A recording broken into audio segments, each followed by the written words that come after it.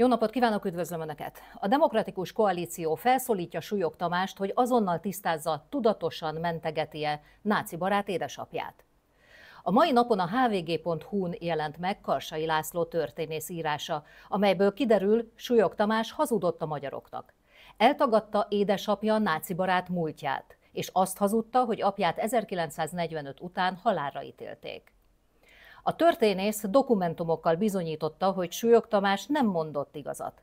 Édesapját a történelmi dokumentumok szerint nem ítélték halálra. A Demokratikus Koalíció azonnali válaszokat követel Súlyog Tamástól. Igaz-e, hogy hazudott a családja múltjáról, legfőképpen a náci barát édesapjáról?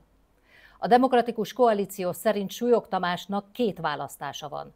Vagy azonnal tisztázza az édesapja kapcsán felmerült vádakat, vagy még hivatalba lépése előtt azonnal lemond a köztársasági elnöki tisztségről. A DK szerint ezzel egy időben Orbán Viktornak is mennie kell, hiszen ha igazak a vádak, már a harmadik köztársasági elnöke bukott meg morálisan és politikailag a miniszterelnökkel együtt. Köszönöm figyelmüket viszontlátásra!